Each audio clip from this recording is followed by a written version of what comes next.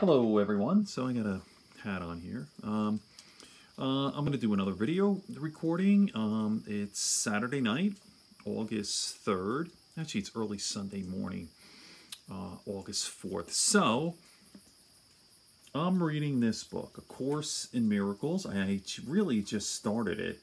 And first, I want you to listen to this. My guy, Joe Rogan. Uh, let me try again. You remember A Course in Miracles? A Course in Miracles was a book that was going around, I want to say in the early, early 90s. There was a bunch of people that were telling you to read some book by this couple, and they were channeling an angel. Really? They wrote this book. And uh, yeah, it's one of those books where, like, I don't know if it was any good because everybody that recommended it was so annoying. Like Eat, Pray, Love, There's- or yeah, uh, they just- or was that the other one, the uh, the Secret? well, it was extremely spiritual, air quotes. Okay, and uh, it was all about how to live. And it might have been, it might be an amazing book, but I remember everybody that wanted to recommend it, I always had like a, "Pfft," right. like that might. Yeah. And I was a young man at the time, and I was very dismissive of about a lot of things that I wouldn't be dismissive of today. But the, I remember it was like one of those books where annoying people loved it. yeah, you've got to read this book, right? That kind of yeah, it's like this book transformed me. I'm reading- It's a gift. I'm giving you this book because I want you to read it, and it's going to transform you too. Wow. Yeah, this Maybe is me giving not. my love to you. Maybe uh, I'm reading a book about someone who said they were channeling an angel, and that's nonsense. What Right. about that? How about how about I have to think about the fact that it's a nonsense person? Yeah. who the website for it. Foundation for Inner Peace. Right on the night. Look at look at the light. Oh, I mean, it looks like the Dianetics, you know. Just the Heaven's Gate Yeah. thing. yeah. Oh. Exactly. Yeah, it's very cultish. What is the um? What's the origin of it?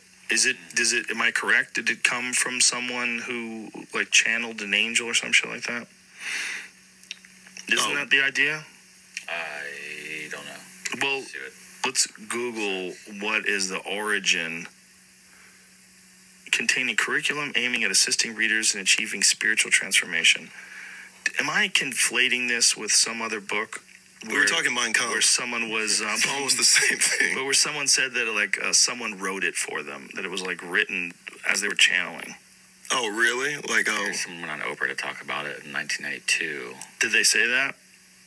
Uh, am I, am I making this up? I'm trying to see what it says. I'm reading too quick. so it's in Oprah's book club. It's on Johnny Carson too. Also before Wow. that, This book got around. 1990. Right, but I you- I don't remember think you're gonna follow it, Yeah. find it from there. Just Google what is the origin story for A Course of Miracles, A Course in Miracles. But it was one of those books where you'd like if you were dating a yoga teacher, you go mm-hmm. over her house, she'd have it on the coffee table.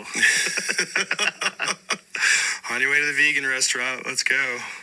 You know, I mean, because you think, like, if the Nazis do win, that does become, like, the coffee book. She Mein said- Kampf. yeah. You know? right? if the Nazis won, it's super inspirational. An inner voice she identified as Jesus uh, began interacting with her and acted as a stimulus, triggering a series of Oh. inner experiences that were understood her, to her as that, and that's what she. So the same guy who, said, who wrote the, uh, the Mormon Bible said the same Joseph thing. right? Smith. Yeah.